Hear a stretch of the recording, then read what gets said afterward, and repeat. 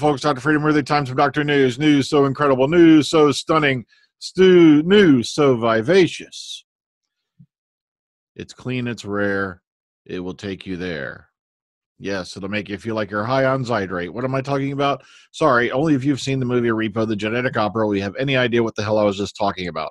What does this have to do with Doctor Who? Not a damn thing, but I still love that movie. But we got a lot of stuff to go through really quick. Now, I was wanting to do a live stream tonight, but like I said, I I just haven't had the time. They've had us on six day weeks like crazy at work. And I'm trying to get Comes the Imperator chapter seven done because it's already I wanted it out like a week or two ago. But the thing is, you know, work is eating all my time. And by the time I get out of work on Saturday, I'm dead. And it's like, oh, then I wanted to get the podcast restarted. And plus we're having a lot of fun doing a lot of different subjects, you know, especially I wanted to get back to Doctor Who related stuff. Matter of fact, I'm going to throw this out there. If you have an idea for a pick three, because there's a, I have a few more I might be contemplating. Go ahead and throw it at me. We'll talk about it, and maybe we'll do it. Because I think we're going to take a two week break so I can get all this done. Also, that'll give me a weekend off, and I ain't working because I'm off next Saturday. Next Saturday, I'm off. And oh god. But okay, let's get to the news. Let's get to what you're concerned about, and hopefully, you folks who are out there unliking all my videos 15 times, I, I love you. That's all I can say. Okay. But let's get to the news. Let's get there. Okay, first up, let's run on over to Twitter.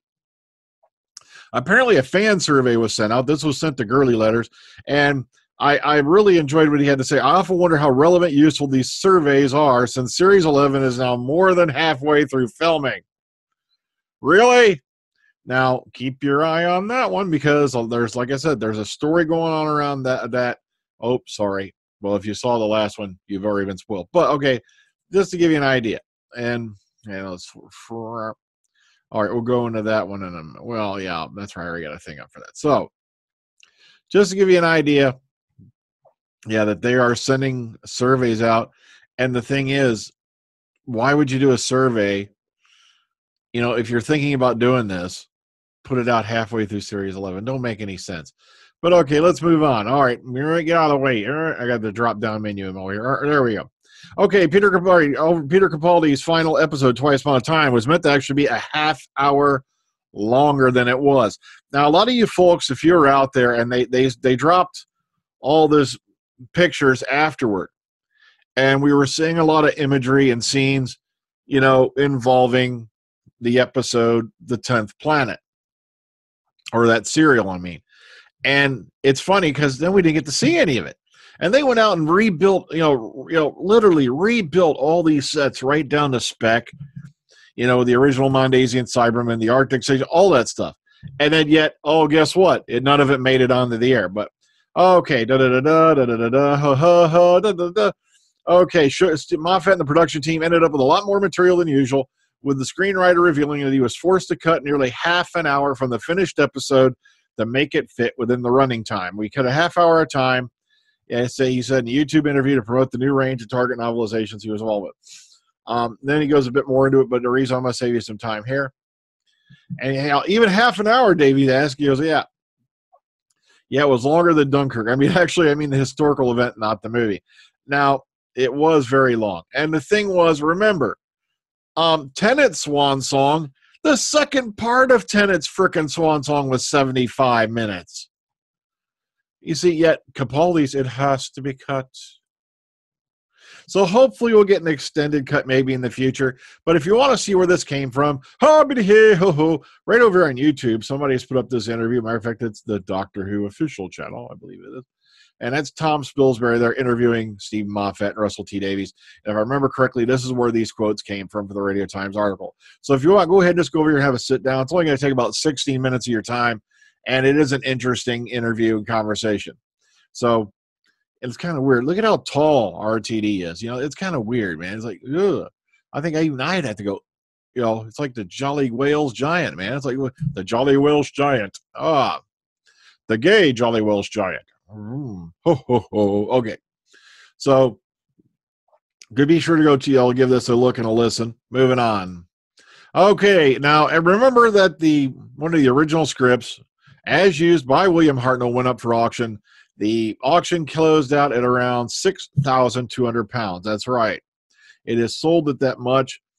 And this, of course, script belonging to the show's first time where William Hartnell was lost in the time vortex for 55 years before ending up in Dudley. Now, it was found at Hartnell's cottage in Mayfield, East Sussex, by a developer who gave it to his grandson. Doctor in the Tribe of Gum aired on the 23rd November 1963 and was expected to fetch between 5,000 to 7,000 pounds.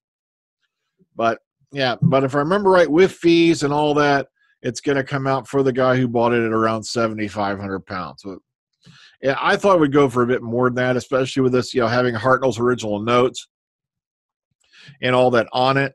But it's you know glad to see this particular relic is going to somebody who's going to probably take damn good care of it. So moving on, of course, Doctor Magazine number five twenty five came out yesterday. Okay, and this looks into a lot of things. You know, of course, Michelle Ryan, Will Oswald, the time team has been changed, and oh boy, have we heard about it all day about the time team being changed. I only got one thing to say. Like I said, uh, you know, more power to these kids. And once again, I stress the word kids. A lot of people into the ring fit because of age. And the thing is, to be tr- tell you the truth, I can understand they're trying to bring in younger fans to the show, especially now that it's moved on, you know, 55 years. But they have not a single person on the time team older than maybe 30. I think the oldest is 26 that kind of makes me wonder. Not you know, like I don't want to sound mean, like a mean old coot, but not one of these kids was even alive when this show was still on the air, the classic series. Matter of fact, the ninety percent of them weren't even alive when the show made it ended in '89.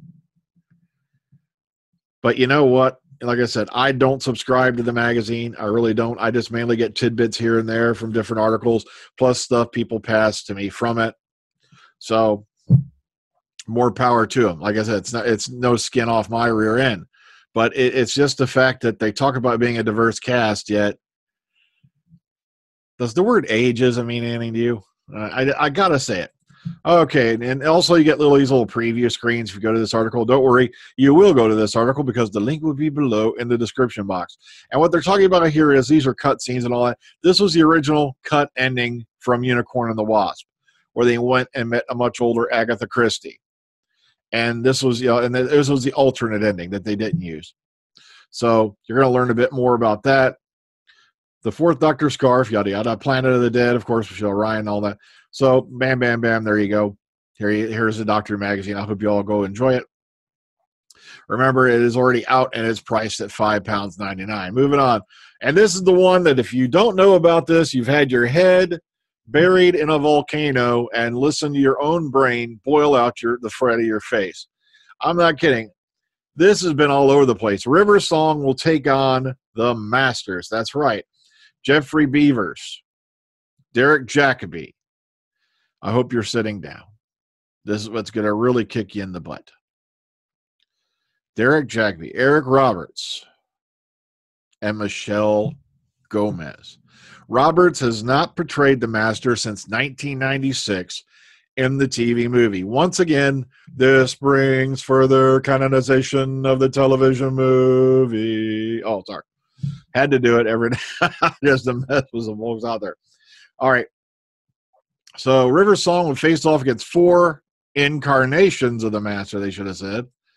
And this will be the Bechdel test, the animal instinct, life and death, the lifeboat and the death boat, and concealed weapon. Of course, there's the author's name, Jonathan Morris, Roy Gill, Eddie Robson, and Scott Handcock, respectively. And here's some little nifty stuff from Nick Briggs, Jason Haigh Ellery. And this will be the Diary of River Song Series 5 will be av- is available for pre-order now for 23 pounds or on CD and 20 bu- 20 pounds for the download. It can also be purchased as a bundle uh, with the Diary River Song 4 to be released in August 2018 and at the price of years old, you know, price of 45 pounds, which ain't bad, 40 for download. Um, remember, go to bigfinish.com and all that for these. But it's just amazing that this is going to be such an incredible story, you know, for the Masters. You know, especially with Eric Roberts stepping back in. You know, Julia Roberts' brother. You remember him? Big Finish. Speaking of stuff that's going on, uh, Six Doctor meets the 80s style Cyberman. Um, this is, of course, going to be Hour of the Cyberman. And if I remember correctly, we're, we're, we're, we're, we're all right. He revealed what has happened to the new unit team since the events of the Fifth Doctor and the Helliax Rift, and it's going to basically continue on from that. Now, the Helliax Rift was not a bad story. I listened to that a little while back. Also, if I remember correctly, oh heck, uh, why not, why isn't it listed in here? So, there it is, uh, right in front of my face. All right, David Banks reprising his role from the 80s as Cyber Leader and Mark Hardy as Cyber Lieutenant. So, interesting stuff going on there for you 80s folks. That's remember, folks, all the old people should be heard, not seen. Oh, God, I had an ageism reference. Oh, no, no, no. Energy of the Daleks coming out on vinyl. That's right. Exclusive deal with Sainsbury Supermarket. Energy of the Daleks, produced by Big Finish Productions, will be available for the first time on vinyl record. From the 25th of May, Sainsbury will be stocking a strictly limited pressing of Energy of the Daleks on a blue 180 GM of heavyweight vinyl. This will be available in participating stores only, limited to 1,500 units. All right, so here's all the da, da, da, da, and if and there you go, all this stuff. And basically, they're encouraging you to say, look, go back and grab some more of the Fourth Doctor adventures here on the website. So wham, wham, wham, wham, wham. Here you go. Interesting stuff going on. Vinyl pressings. Look at that. Ooh, that reminds me of my mom, dad's Elvis Blue, Moody Blue album. Okay, moving on. Doctor Who Castle near Cowbridge went on the, has gone on the market. Penllyn Castle on the Vale of Glamorgan is now not open to the public, but is now on the market for a mere one million pounds. That's right. As well as castle ruins dating back to 1135, it also features a grade two listed mansion's house with eight bedrooms. Oh no, I'm fading. It's oh no, not him, not again. The 72 acre country estate near Cowbridge contains sprawling lawns, paddocks, and a woodland. Anthony Clay from real estate agents Knight Frank said that Penllyn Castle is one of the most important houses, if not the most important house, in the Vale of Glamorgan. Oh, I faded into Robin Leach again. Oh, man. So, not like any of us are going to afford this sucker, but I found it interesting, nonetheless. But maybe you could, because someday look, they're looking for assistant script editor for Doctor Who again. Weird. I could have swore this was up before. The closing deadline on this is the 13th of May. If you think you've got the stones, go check this out. All right. So, all right. Sorry I had to hurry up a little bit on this one, but like I said, I've had my time's really been eaten up. Um, like I said, I would have loved to have sat down and finished Comes the Imperator tonight, but the problem is, guess what? I got to go to work again in the morning which means I got to do an all nighter on Saturday the Sunday morning, and I might have it pressed out. Uh, I got like two of the big scenes are done. And like I said, I would have liked to have had it out like two weeks ago because I know there are some folks who listen to the audios out there and enjoy them, and I really enjoy. We really enjoy doing them. And you know, like I said, um, we're getting to some really weird things that are going to happen in the story. We've already had a major betrayal in the story. You know, for you four or five guys who are listening to you know Doctor Freedom and Eric, the audio adventures.